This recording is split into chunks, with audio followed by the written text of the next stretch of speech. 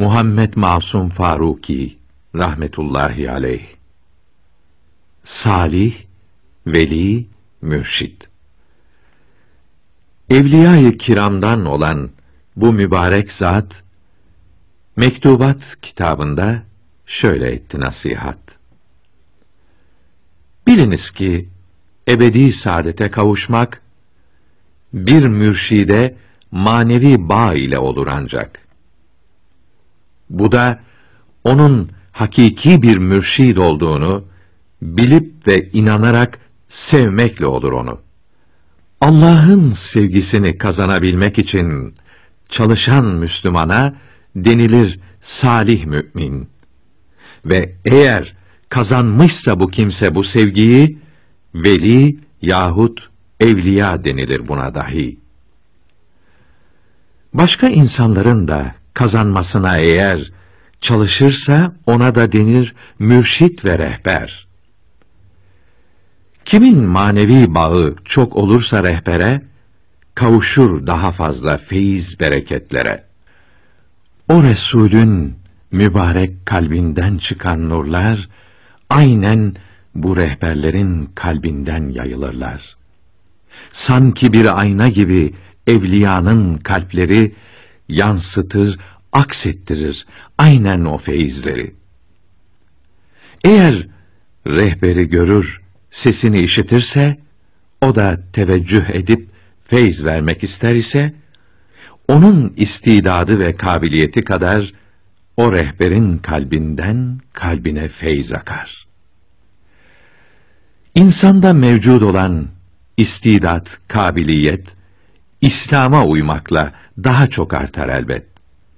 Eğer İslamiyete uymaz ise bir kimse, o asla kavuşamaz bereket ve feyze. Manevi rabıtası bozuksa bir kişinin, o dahi kavuşamaz feyzine bir mürşidin. Manevi rabıtadan şudur ki asıl maksat, o mürşidi sevmek ve eylemektir itaat. Senelerce çekse de riyazet, mücahede, yine de bir rehberden edemez istifade. Yani bir evliyadan feyzyab olmak için onda feyz olduğuna inanmak lazım ilkin. İnanır, onu sever, sözünü dinler ise kavuşur o nispette bereket ve feyze. Başka bir mektubunda buyuruyor ki bu zat, Yavrum, bu gençlik çağı bulunmaz büyük fırsat.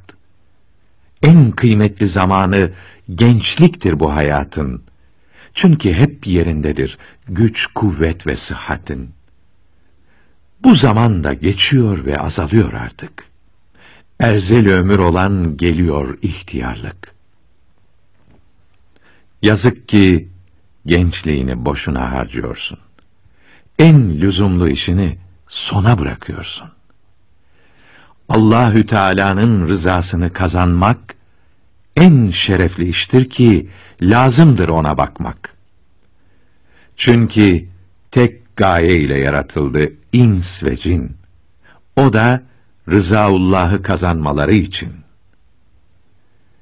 Geriye atıyorsun sen bu mühim işini ve heba ediyorsun yazık ki gençliğini. En iyi zamanını en kötü düşman olan nefsinin ardı sıra geçirmektesin her an.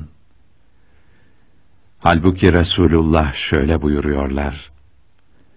Yarın yaparım diyen aldandı, etti zarar.